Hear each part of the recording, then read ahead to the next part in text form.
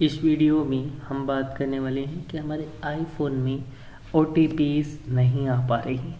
ठीक है ओ one time password हमारे अगर आईफोन में नहीं आ पाता है मैसेज के थ्रू तो हमें क्या करना चाहिए?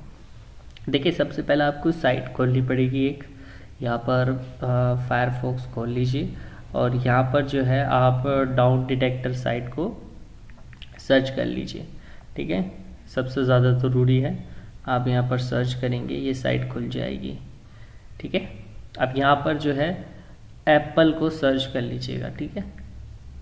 और सर्च करने के बाद यहाँ पर आपको बहुत सारी एप्लीकेशन दिखाई देंगी आईफोन की बट यहाँ पर किसी पर भी एक्टिविटी ज़्यादा नहीं होनी चाहिए, वरना दिक्कत हो सकती है। उसके बाद आप जो अपने आईफोन की सेटिंग्स में जाइएगा और जाने के बाद यहाँ पर होम पेज पर जब जाएँगे तो आप नीचे जाइएगा।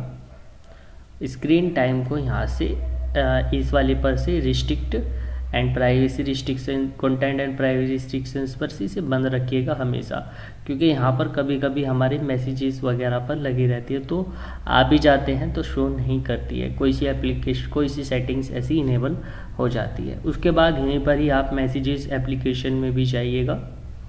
ठीक है? यहाँ पर।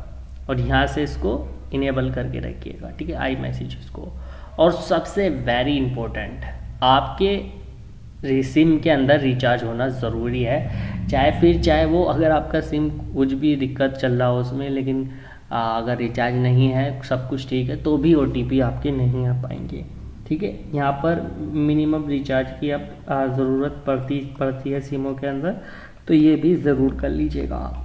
तो बस यही चीज़ करनी है, फिर आपकी प्रॉब्लम ठीक हो जाएगी। अगर यहाँ पर आपको वीडियो अच्छी लगी हो तो लाइक कर दीजिएगा और चैनल को सब्सक्राइब भी कर दीजिएगा।